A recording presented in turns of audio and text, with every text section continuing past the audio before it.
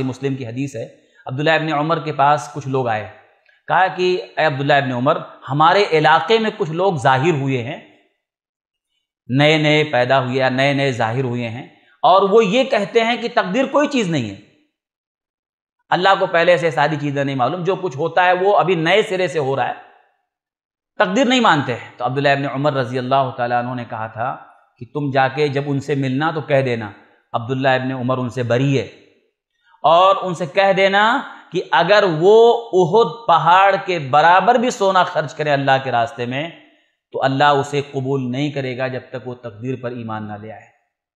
تو پتہ چلا کہ ایمان کے کسی ایک رکن کا بھی انکار بندہ کرتا ہے وہ اسلام سے باہر ہو جاتا ہے تو تقدیر بھی ایمان کے چھ رکن میں سے ایک رکن ہے